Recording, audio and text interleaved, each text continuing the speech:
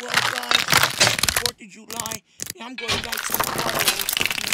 There's gonna all sorts of awesome stuff you If you want a Christmas tree, it's just for a decoration.